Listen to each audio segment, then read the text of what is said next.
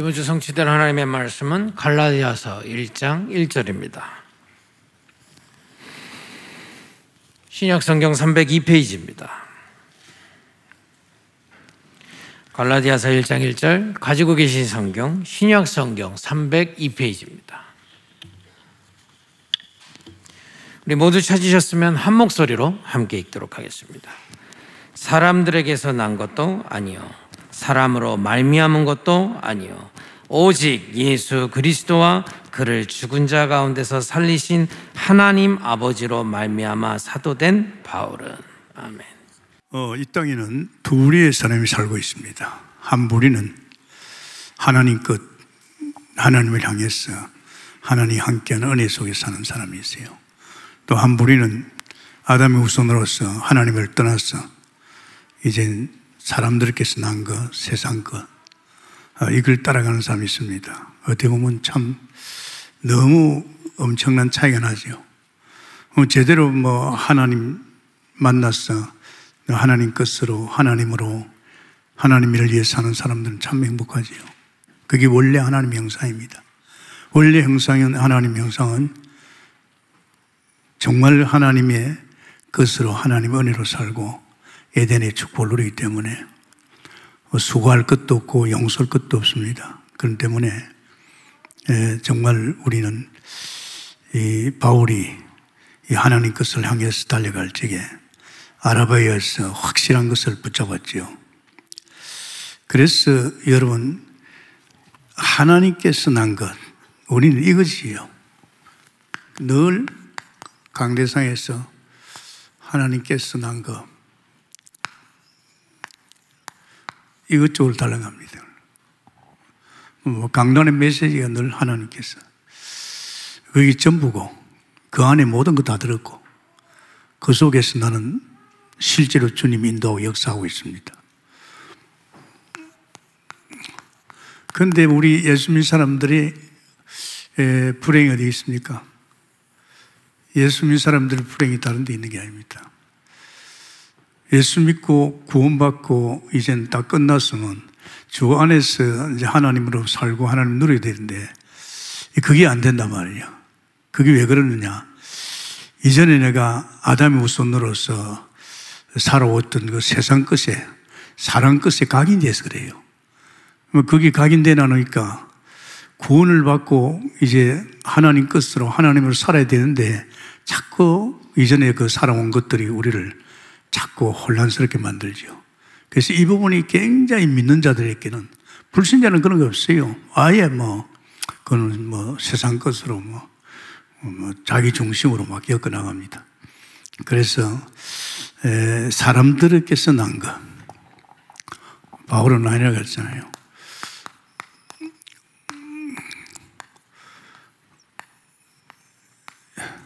뭐, 어찌 보면 우리는 사람 속에서 태어나고 사람 속에서 자라다 보니까 뭐 이게 전부였죠. 특히 예루살렘이 또 그렇죠. 예루살렘은 대단합니다. 뭐 여러분 알잖아. 다락방 본부가 있고 뭐 내노라는 사람 다 와 있고 말이에요.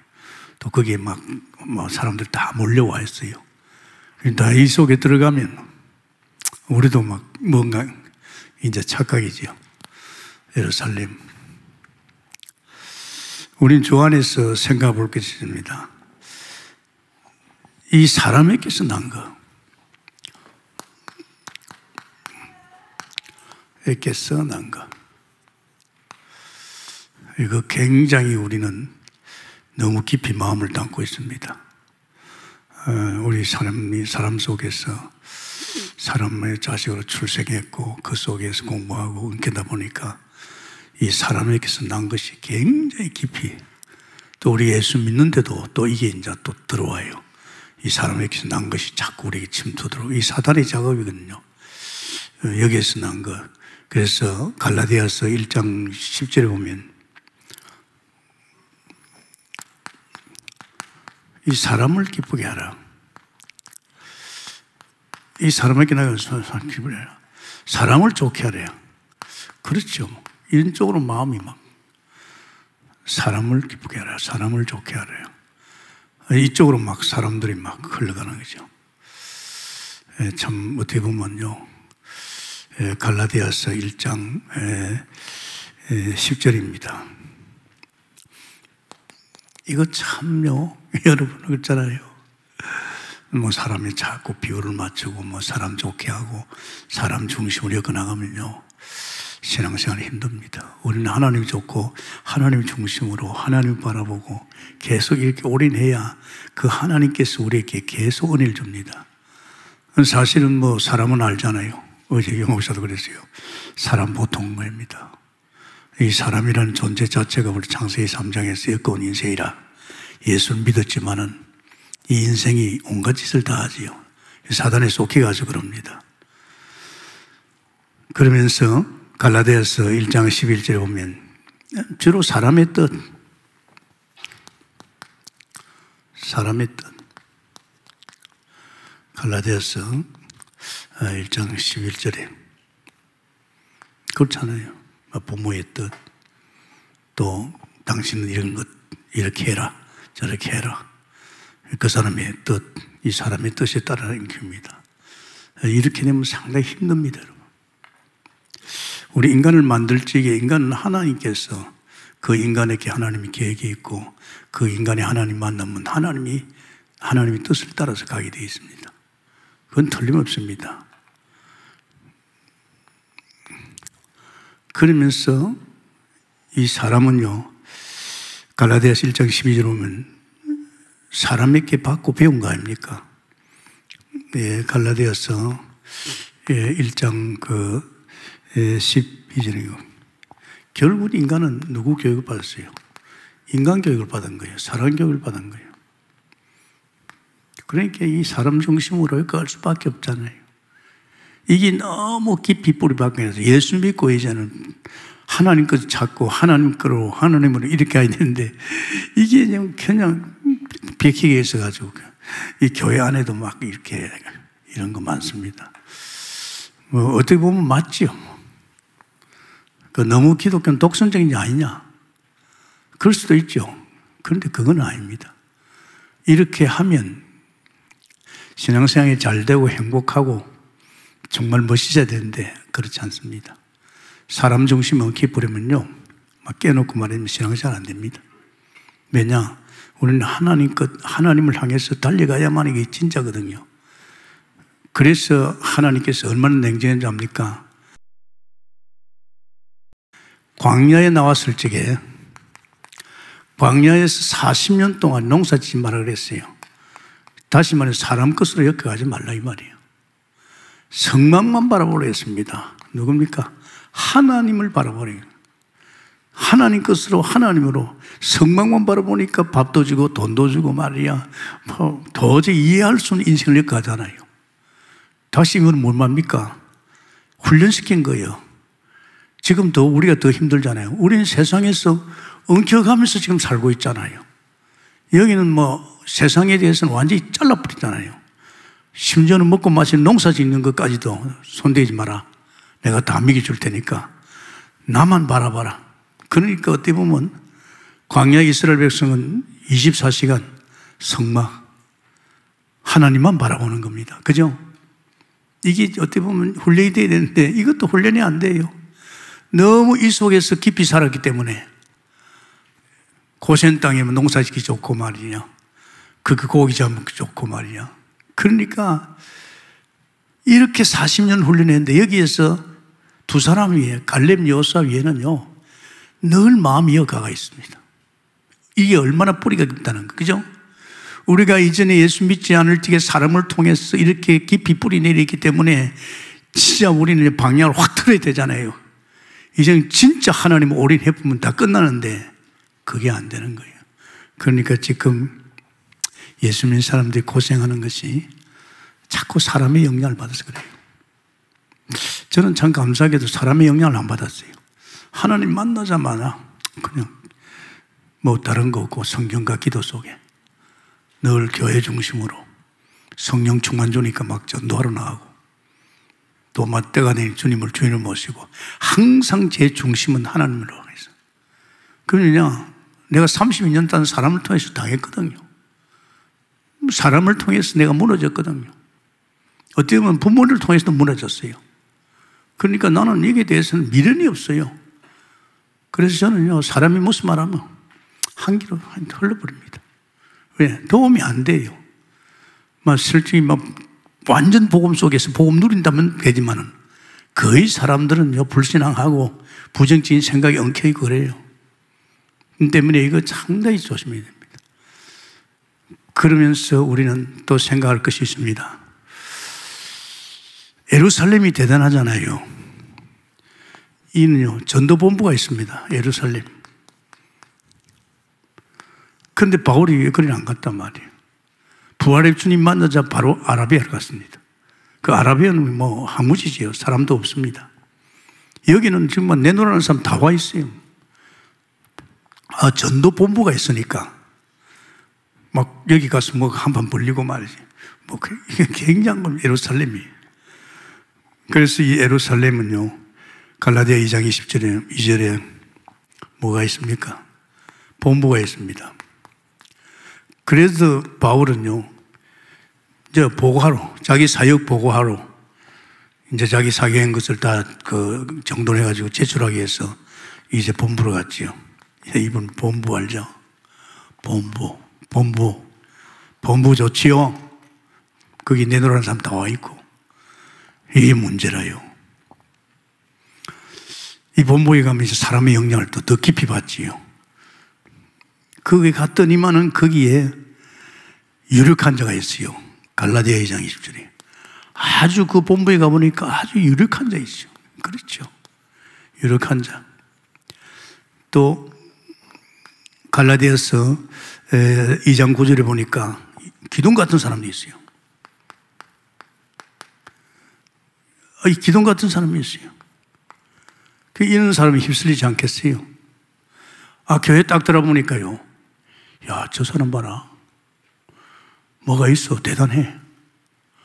또 자기가 대단하는 것을 보여줍니다. 그렇게 이제 들어온 사람이 볼 적에, 아, 저게 붙으면 나도 살 길이 있겠나. 이래 된단 말이에요. 그죠? 이거요, 굉장히 무섭습니다. 이 교회 안에 이런 사람들 때문에 뭐 베드로가 대단했습니까? 안 그렇잖아요. 우리는 주 안에서 그잘 알아야 됩니다. 본부 교회. 아, 대단하잖아요. 그죠? 이거 상당히 중요합니다. 교회 안에 이런 사람들이 득세합니다. 이런 사람들이 사람을 엮어가지고 패거리도 만들고 교회를 자지우지합니다. 아십니까? 이 성도는 모른단 말이야. 어, 성도들이 막 복음 사실화되고 막 하나님 거로 막딱 돼 있으면 되는데 이 성도들은 말이야. 창세기 3장에 어깨 살다가 각인됐다가 이제 또 이런 예루살렘에 보니까 야 내가 잘했구나. 나도 말이야 저런 사람 만나면 저런 사람 되겠구나. 큰일 납니다 여러분. 제가 감사한 것은 제가 딱 한 사람의 영향받았어요. 유광호수 목사. 그것도 다른 데서 영향을 잘 안 받아요. 오직 복음에 대만 영향받았어요. 왜? 사람을 알잖아요, 제가. 왜? 인생 살아보니까 알겠더라고요. 복음 속에서 영안이 밝으니까요. 그 사람 쳐다보고 그 사람 말하는 것 들어보면요. 저건 아니다. 아, 이게 오예요. 아주 아주 쉽게 판단하거든. 이게 지금 예루살렘입니다. 자, 그러면서 우리가 또 생각해 볼 게 있습니다. 사람들은요, 스스로 속입니다. 되지도 못하면서 된 것 같이 착각하는 사람 많습니다. 이거요, 보통이네 갈라디아서 6장 3절 7절입니다. 되지도 않으면서 된 것 같지 말이야. 이거 참 보통이라죠. 하나님 볼 적에 얼마나 가정스럽겠어요. 안 그렇습니까? 하나님은 더 내다보고 있잖아요. 그걸 내려보니까 아니다 말이야. 그런데도 막 남들 앞에 가서 말이에요. 자기는 대단한 것 같지 말이야. 뭐 대단히 뭘 잘하는 것 같지 말이에요. 이 교회에서 내가 자주우지 한단 말이야. 이건 큰일 납니다. 스스로 속이고 있습니다. 참으로 안타깝지요. 아, 유대인들은 뭡니까? 갈라디아스 3장 6절이지요. 1절에서 6절. 율법, 행위로 가지고. 주로 있는 사람들 행위로 많이 말하지. 이거 굉장히요. 이런 것들이 우리 신앙을 망가뜨리고 자꾸 혼란스럽게 만들고 하나님께로 오직 가야 되는데 하나님 것을 향해서 갈 수 없도록 이게 방해하고 있는 거예요. 누구의 장난입니까? 사단의 장난입니다. 이 사단이가 그짓 하는 거예요. 본인도 속이고 있죠.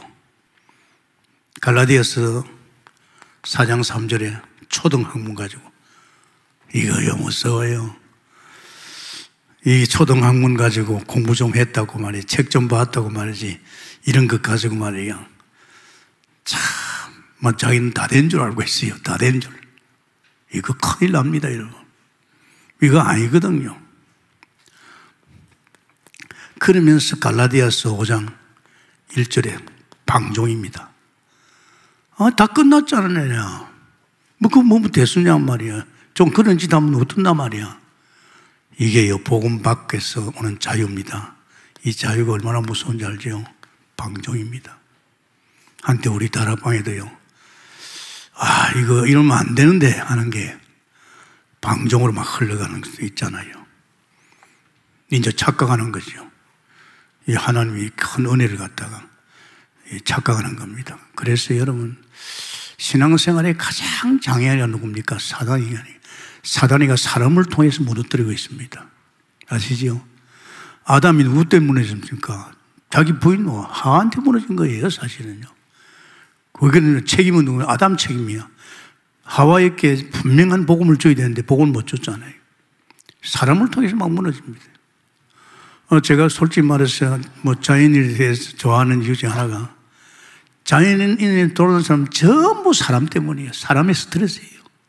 뭐 이혼했다, 뭐 사기 당했다 말이에요. 전부 사람 때문입니다. 오늘 우리가 병이 얼마나 무서워요. 스트레스 받으면 다 사람을 통해서 온단 말이에요. 제일 지가 예수 믿으면서 조심할 것이 사람이요. 이 사람에 대해서. 그래서 제가 그랬잖아요. 제가 24시간을 작업했다니까요. 그러면서 오늘 누구를 만났느냐요. 그를 통해서 내가 무슨 이야기를 했나 이게 딱 적어봤다니까요. 아, 이 사람 만나면 안 되겠어? 분별이 오더라고요. 그만큼 영적 생활에서 사람을 통해서 사단이가 무너뜨리고 있다는 걸 알아야 됩니다. 아멘입니까? 그 신앙생활이 여기서 무너지는 거예요. 뭐 불신앙하고 부정적인 생각하고 뭐 쓸데없는 이야기 교회 와서 하고 하니까 어, 그게 맞는 것 같거든요. 왜? 그 사람 보면 상당히 유력한 자고 기둥 같으니까 믿어진단 말이에요. 여기에서 우리는 당합니다. 근데 바울은 안 그랬잖아요. 사실은 바울은요, 참, 부활의 주님을 만나고 어디로? 아라비아로. 아라비로. 뭐하러 갔습니까? 이제 제대로 부활의 주님 만나놨어. 하나님의 것 찾아서 챙기려고. 더 하나님의 것을 깊이 알고. 이게 갱년입니다. 여러분 예수 믿고 구원받 뭡니까? 하늘의 문이 열린 거요. 바이블이 뭡니까? 하나님에 대해서, 영적인 세계에 대해서 모든 게 다 열려 있습니다. 근데 거기까 마음을 두고 성경기를 봐요. 굉장하지요. 어저께 부산에서 어떤 다락방에 중요한 사람하고 둘이서 차를 한잔하는데 나는 목사님 메시지 가끔 듣습니다만은 목사님은 뭔가 틀리는 것 같아 이러더라고. 그래. 뭐, 좀 신앙생활에 대해서 알아보고 싶다 이러더라고. 내가 그런 말 했어요. 난 40, 32년 동안에 인생 살다가 그만 살고 싶었어. 이런 세상이라면 더 살 필요가 없다. 이거는, 이거는 뭐, 뭐, 내가 생각해보니까 인간 사는 것도 아니야. 빨리 끝나야지. 나는 이런 일을 당하고 싶지 않았다. 그러다 이제 하나님 만났다. 만나고 그 다음 날부터 나는 세보에, 세보 기도 가고, 퇴근 시간에 뭐 했냐? 가서 성경 보고, 기도하고, 이거 했다. 하나님 만난 그 다음 날부터 세보 기도하고, 나는 갔어. 퇴근 시간에 하나님이. 너 동점에 교회 있지 않느냐? 집에 가지 마. 너 토행금지대에 가지 않느냐? 종점에 있는 이 교회 가서 말씀 보고 기도를. 너는요, 뭐 하나님이 성령으로 내게 감동 주니까 그는 뭐 성령인 줄 몰랐죠. 그 교회 가서 불 켜놓고 두 시간, 세 시간. 이게 나를 이렇게 만들다겠죠. 아니, 목사님, 그럴 수 있습니까? 그럴 수가 아니고 하나님 나를 그렇게 인도했다고. 그래서 얼마나 좋은지 이 자체만 해도 행복했어. 이전에 내가 살던 인생은 완전히 틀려. 무언가 말씀과 기도 속에 들어간데도 내 마음 속에는 내가 느낄 수 없는, 여태까지 살아오면서 느낄 수 없는 참 평안과 해방과 자유함과 내 마음의 행복과 기쁨이 있더라. 이랬죠. 아, 목사님 그랬습니까? 그렇다고. 여기에서 끝날 건데, 제가 두 달 만에 성령 충만을 받았어요. 초대교회 아시지 않습니까? 초대교회 문도들이 들은 그 성령 충만. 사도행 2장. 이걸 딱 받고 나니 완전히 달라졌어요. 이거는 완전히 하늘의 능력이 있는 거예요. 사실적인 믿음이 와버렸어요. 그 하나님의 지혜가 내게 와버렸어요. 이거가 내 인생을 엮고 가는데요. 와, 이런 세상이 있단 말이에요. 이건 도저히 내가 이거하고 또 틀립니다. 강한 하나님께서 사실적인 믿음이 지혜가 능력이 와버리고 성령 충만이 왔잖아요. 그래서 내이말 했어요. 나는 예수 믿고 두 달부터 왔다. 지금까지 이 은혜를 내가 누리고 있다. 이 은혜가 어떻게 좋았느냐? 아, 내가 새벽 기도 가고, 내가 퇴근 시간에 집에 안 가고 성경 본 이것이 나에게 이런 축복이 한 것 같다. 그러겠지만, 아, 그러냐. 이 정도가 아니다. 내 속에 있는 성령이 나를 인도하고 가르치고 다 하더라. 이거를 성경 속에 보기 시작했고, 이 성경에서 이루어지는 일들을 내 속에 성령을 통해서 나를 인도하고 역사하는 걸 다 보았다. 난 이게 너무 신기하더라. 신기하지요. 만약에 내가 예수를 믿다가 이랬으면 쉽지 않을 겁니다. 율법도 끼 있고 다른 게 많이 꺼 있는데 나는 하나님 만나자 바로 오픈에 올려 들어갔습니다. 그러니까 마음이 얼마나 순수하겠어요. 어떻게 보면 얼마나 깨끗하겠어요. 그러다 보니까 제 삶은 이제 오직 하나님 것을 향해서 하나님 것을 찾고 하나님을 통해서 밥도 먹고 돈도 쓰고 뭐 전도도 하고 그러면서 나는 이렇게 되더라. 참 이게 갈라디아죠. 1년 반 만에 나는 주님을 주인을 모시고 살았다. 아, 그랬군요. 목사님은 유 목사 만나기 전에 벌써 영적 생활에 너무 사실적인 그 축복을 누린대요. 그렇다고. 그랬는데 내가 이렇게 하다가 정말 주님을 주인으로 모시고 목회도 하고 한 16년 했는데 이상하게 시험이 오고 사람 넘어서는 게 힘들고 또 그러면서 이상하더라. 문제 사건이 오니까 주저앉더라. 그래서 내가 갈등을 많이 느끼다가 그때 전도자를 만났다. 전도자가 첫 시간에 이걸 이야기하더라. 다 끝났다. 예수는 그리스도 인생의 길건 나는 이 사실을 알고 나는 이대로는 안 되겠다. 이것은 울산 접어버리고 이쪽으로 올인했다. 왜? 막 미쳐버렸다. 또 그 당시에 또 실제로 복음 들으니까 미치고 싶더라고요. 내가 그동안에 한 것도 얼마나 좋아요. 그러나 이거 아니다. 이게 전부다. 그래가지고 제가 했다고. 그래서 내가 미쳐가지고 지금 30년 넘었다 하니까, 아, 목사님, 졌는 데는 몰랐는데, 목사님이 남들이 할 수 없는 신앙생활을 하나님이 처음부터 엮어주셨네요. 그러니까 저는 사람이 도움 필요 없어요. 왜 필요 없습니까? 100% 주님께서 엮어갔기 때문에. 아멘입니까? 아, 여러분, 우리 살아야 될 거 아닙니까? 절대 여러분 잘못하면 안 됩니다. 하나님 것 바울은요, 아라비아로. 정말 그렇잖아요. 아라비아. 어떻게 보면 신의 산이 있는 아라비아로. 갈라디아서 1장 17절. 또 그러면서 어, 갈라디아서 4장 25절.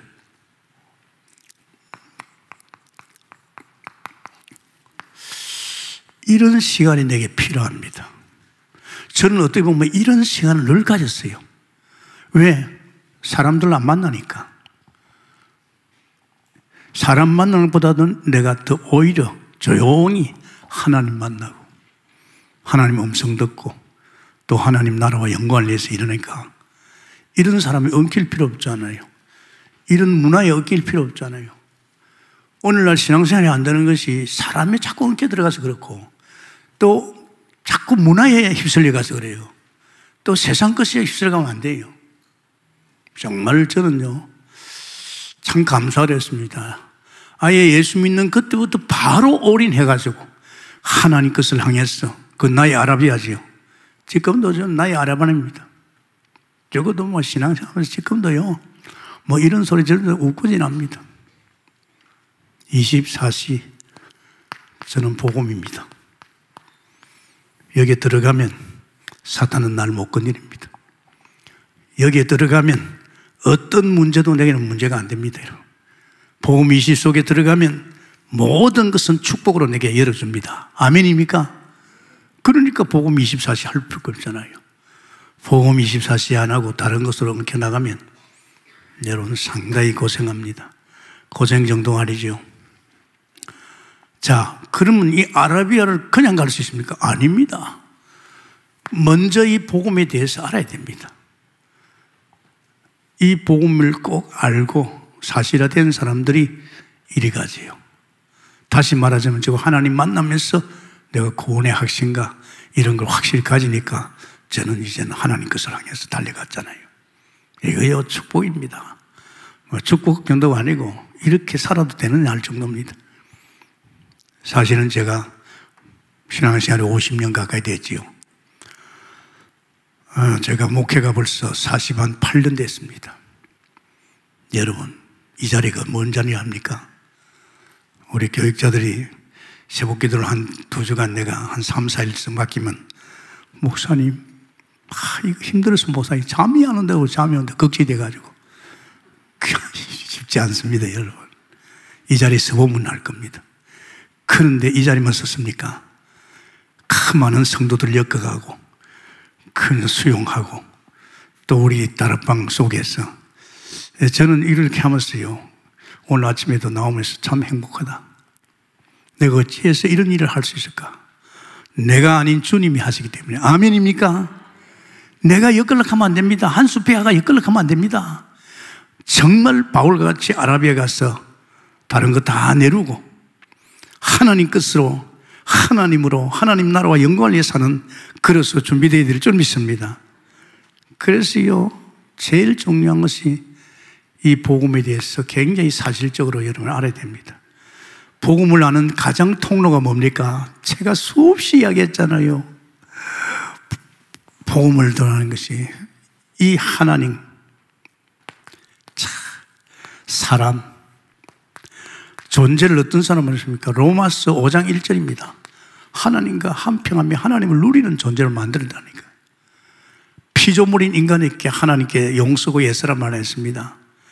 피조물 인간에게 하나님께서 정말 에덴을 창조해 주시고 하나님을 누리는 사람으로 이렇게 만들어 줬다니까요.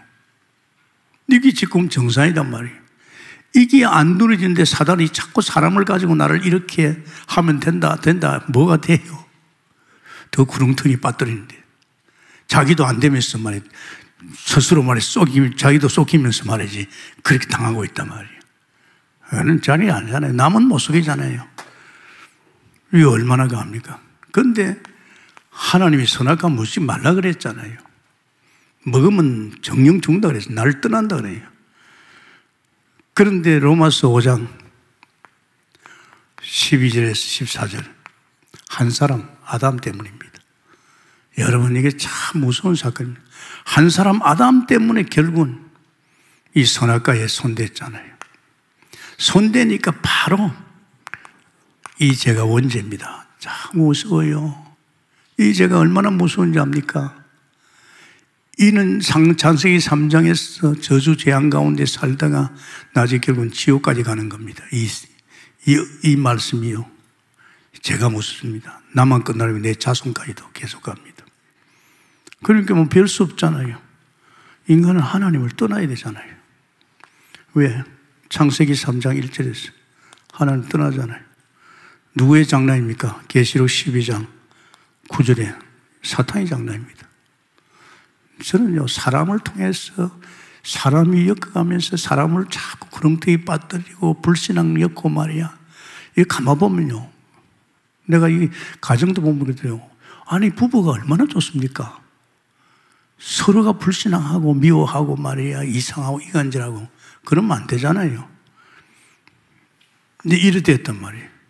이래 되니까 결국은 사도행전, 아, 요한복음 8장 4절.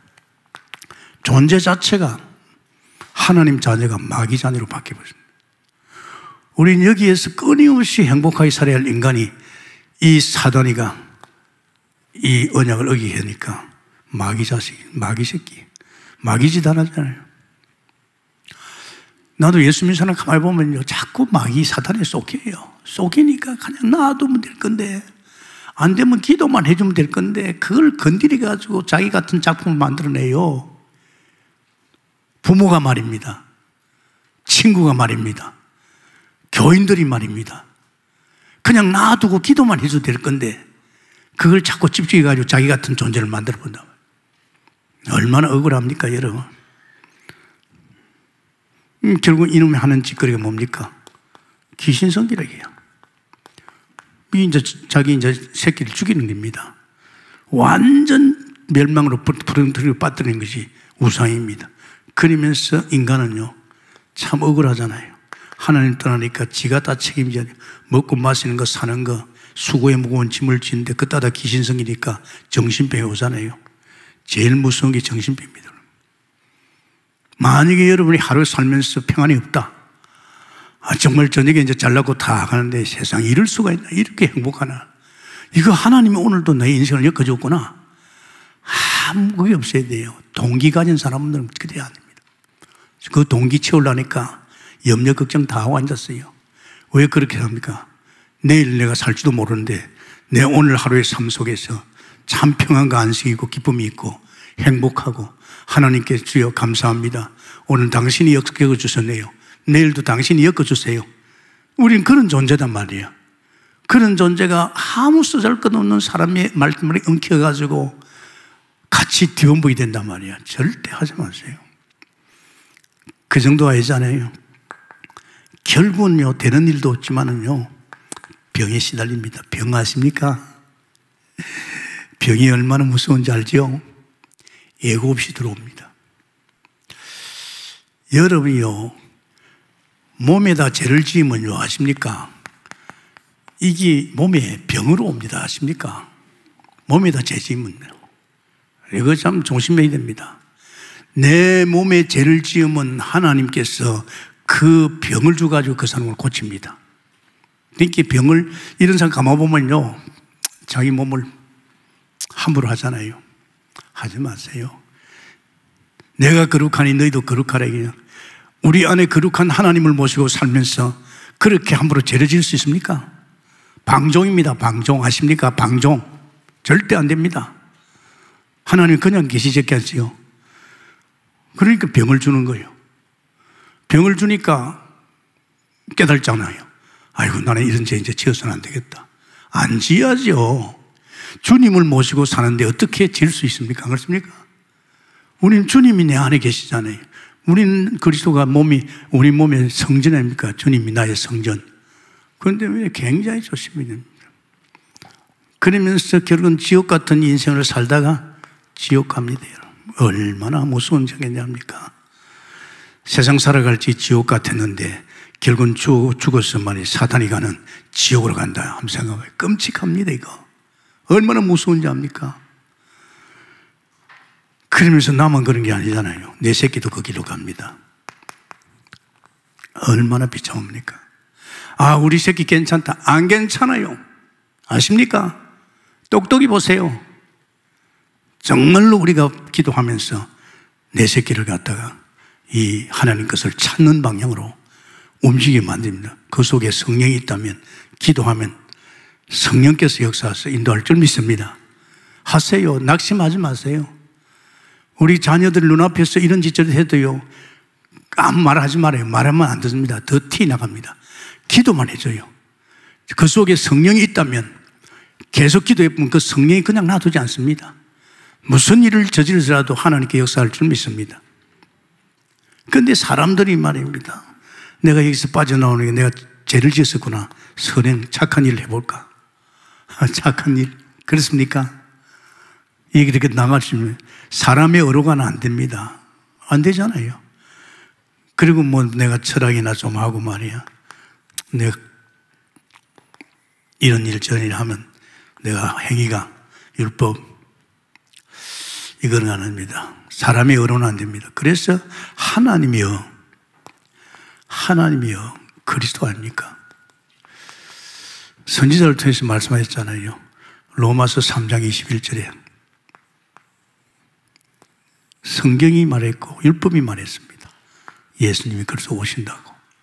오셔서 뭐 하신다고? 우리와 하나님과 화목을 이루기 위해서 그분은 로마서 3장 25절 화목제물입니다. 반드시 제물이 필요합니다. 화목할 적에는. 피, 예수님의 피, 예수님이 제물 되었어서 하나님과 우리 사이에 제물 대물에서 우리는 하나님과 화목하는 축복을 받은 줄 믿습니다. 로마스 5장 1절에 회복된 겁니다. 그래서 여러분 십자가에서 뭐였습니까? 로마서 8장 2절 끝냈다입니다. 죄와 사망에서 생명의 법이 완전 끝냈습니다. 엄밀히 따지면 죄하고는 상관없지요. 물론 뭐 회개하면 되지만은 회개 하나가 되는 게 아닙니다. 몸에 고통이 온다니까요. 마음에다가 여러분이 죄를 지면 마음이요 안 편해요. 우리는 하나님이 거룩한 하나님과 함께 사는 인조입니다. 아십니까? 불신앙한 들이 몸이 안 좋잖아요. 스트레스 받으면. 그러면서 요한복음 14장 6절에 나는 길이요 진리요 생이 나로 만 길가기 걸잡니다. 선지자. 정말로 누가 그지 이 사탄을 하나님 알라는 마귀를 멸합니다. 이 일을 하러 오셨어요. 그래서 주님이 끝냈잖아요. 그래서 주님께서 요한복음 19장 30절에 마음님 내가 다 끝냈다. 여러분의 인생 끝나기를 바랍니다. 제발 부탁입니다. 하루 종일 있어도 걱정이 없어야 되고 어떤 문제가 들어닥치도 걱정이 없어야 돼요. 주님께서 이미 십자가에서 다 끝낸 거. 그걸 내가 사실 누려야 될 줄 믿습니다. 그러니까 얼마나 편합니까? 아, 저는 뭐 상당히 편하게 살지요. 병하고 상관없다. 나는 병하고 상관없다는 것은 뭘 말합니까? 내가 주인이 아니기 때문에. 나의 주인이 창조주, 나의 아버지가 창조주 하나님이요. 어찌 내가 병들었을지 그냥 있겠느냐. 나보고 너 병 아닙니다. 주님이 알아서 할 줄 믿습니다. 그러니까 사람들은 뭐 병들까봐 걱정이지요. 그러지 하지 마세요. 막 가정의 식구들 혹시 병들면 어떠나 그 걱정하지 말아요. 우리 집사람 나이 많으니까 내가 옆에서 툭툭 칩니다. 여보, 사는 게 내 손에 있는 거 아니에요. 주님 손에 있어. 흙덩어리야. 흙덩어리가 움직이면 살아나. 나이도 상관없어. 요새 그러죠. 당신 얼굴 많이 좋아졌어. 당신 요새 살찌고 있어. 항상 저는 믿음을 심어줍니다. 아멘입니까? 그리고 또 막 기도를 해준다고요. 제가 아침, 저녁으로 잠자기 전에 기도해주고, 또 아침 일어나면 또 기도해주고, 내가 미국에 가건 미국에 어디서 기도해줍니다. 왜? 나이 들었으니까 본인의 믿음이 약할지 내가 기도로 밀어줍니다. 아멘입니까? 이게 부부 아닙니까? 이게 사랑 아닙니까? 그럼 얼마나 축복입니까? 그러니까 로마서 4장 1절에 8절 세상에 아브라함과 다윗이 일한 것도 없이 자랑할 것도 없고 그런데 참 행복하잖아요. 예수 믿는 것 때문에 아멘입니까? 여러분 일한 것도 자랑할 거 없잖아요. 그런데도 여러분에게 하늘에부터 오는 그 은혜와 축복을 막 쏟아주잖아요. 그렇습니까? 우리는 하나님의 형상을 강해서 하나님이 자꾸 쏟아줍니다. 제가 솔직히 그래요. 제가 27년 만에 이걸 깨달았어요. 이게 사실로. 아, 주님이 십자가 이 말을 했는데. 이제 나는 없구나. 27. 나는 다 끝났구나. 나는 어떤 문제도 문제 없다. 이랬잖아요. 가만히 생각해보니까 내가 쏙했어. 예수 믿을 적에 벌써 이게 와야 됩니다. 할렐루야. 예수 믿을 적에 바로, 바로 이거 와야 됩니다. 그래서 내가 지금 이제 우리 동국계 교육자들나 우리 중직자들 성도들에게 이 부분을 좀 심으려고 그래요. 정말 다 끝났어요. 안 끝나면 여러분 손해합니다. 안 끝나면 여러분이 걱정하고 염려하고 사단이가 자꾸 여기 웅덩이 빠지게 합니다. 그럴 필요 없잖아요. 주님이 다 끝났으면 끝났죠. 그러면서 참 우리는 감사하잖아요. 우리는 도저히 이해할 수 없는 자리에 와 있잖아요. 그래서 하나님께서 우리에게 정말 축복을 주셨잖아요. 다 끝났다. 해방됐다. 로메스 8장이죠. 완전 해방됐다. 해방입니다. 걸려들 거 없어요. 자유함입니다. 하나님이 주신 자유입니다. 할렐루야. 걸려들면 안 됩니다. 사람에 걸려들면 안 돼요. 우리는 병에 걸려들거나 세상 문제나 사건에 걸려들면 안 됩니다. 주님이 우리에게 완전히 해방을 준 줄 믿습니다. 완전히 해방 줬어요. 그래서 어떻게 하면 됩니까? 로마서 10장 9절에서 10절 마음을 믿고 입으로 시인하라 이 영적 기도지요. 이, 네가 이 사실을 깨달았고 니까 믿으면 되는 거다. 그러면서 그럴 적에 로마서 8장 14절에서 17절이죠. 우리는 영접할 적에 하나님의 자녀요 양자 영이 와가지고 우리 영적인 존재로 이제는 영의 사람으로 이제는 우리에게는 상속자로 유업자로 전부가 우리 것입니다. 유업이 열자로. 이 축복이 얼마나 큽니까? 다 왔다니까요. 이건 내가 달랑해도 하나님이 챙겨줍니다. 할렐루야. 하나님 챙겨주게 되어 있잖아요. 그죠?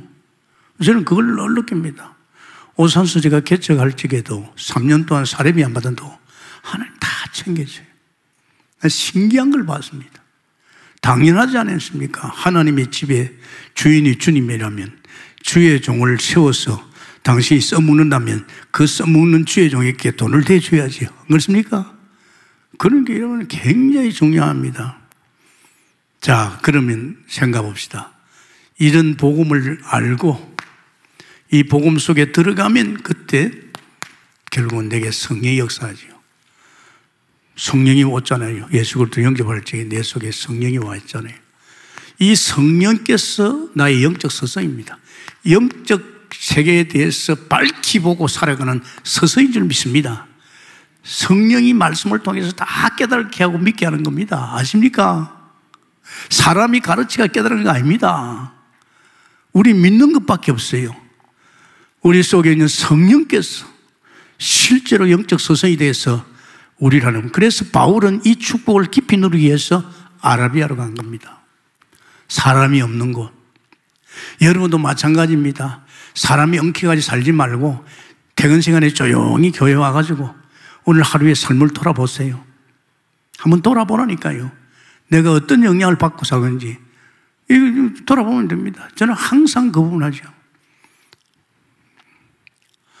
자, 그래서 사실은 이 아라비아에서 일어난 것이 뭡니까?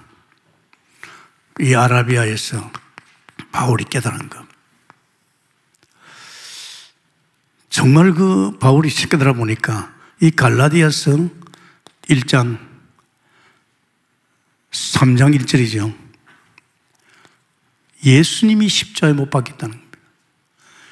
이 십자가에 예수님이 못 박혀 있다는 것.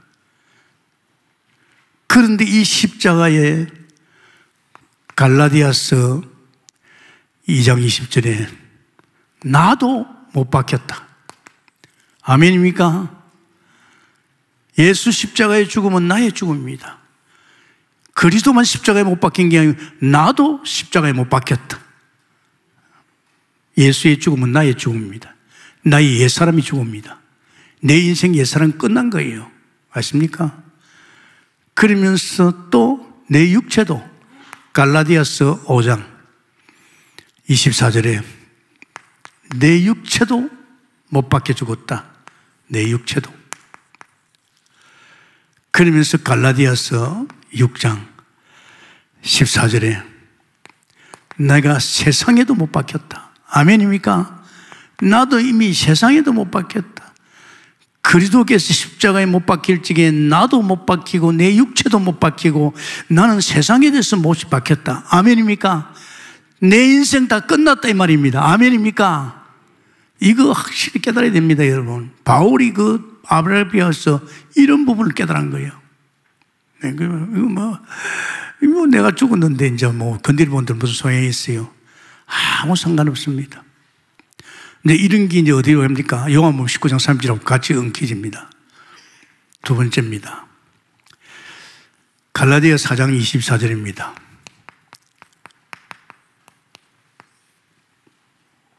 여기는 선배들이 가서 은혜 받은 것입니다.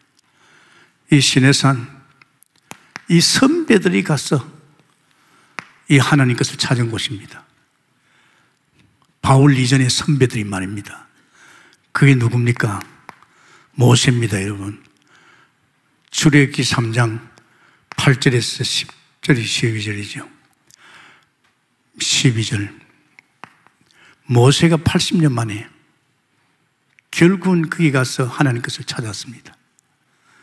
어떻게 보면 그때서 하나님께서 모세야, 네가 선 곳은 거룩한 곳이다. 나는 네 조상 아브라함, 이삭, 야곱의 하나님이야. 그때 복음의 결론이 나왔지요. 이제 완전히 그 하나님께서 찾았지요. 내가 내려가서 내 백성 건지 네가 좀 가라. 미션이 왔잖아요. 그죠? 하나님 내가 도망갑니다. 아니야. 내가 정령 너와 함께겠다. 하나님 그 찾았잖아요. 그 아라비아에서 이 바울이요. 뭘 찾겠어요? 그 선배들이 찾은 그 하나님께서 엄청난 것을 찾았지요. 그리고 특히 그 또 출애굽기 뭡니까? 왕상이죠. 왕상 19장 20 뭡니까? 어, 항상 어, 보면 19장 1절에 20절입니다. 엘리야가 이 시내산에 부름 받았잖아요. 하나님 날 거다 가세요.